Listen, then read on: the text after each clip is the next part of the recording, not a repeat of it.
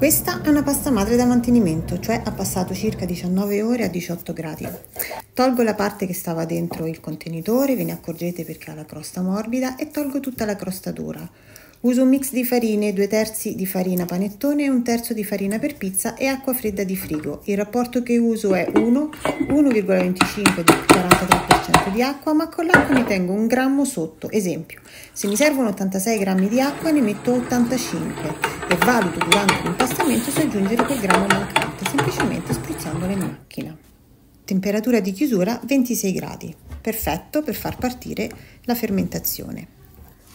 Poi procedo alla laminazione con le pieghe e spiralatura, cercando di eliminare tutta l'umidità residua, girando molte volte l'impasto durante questo processo.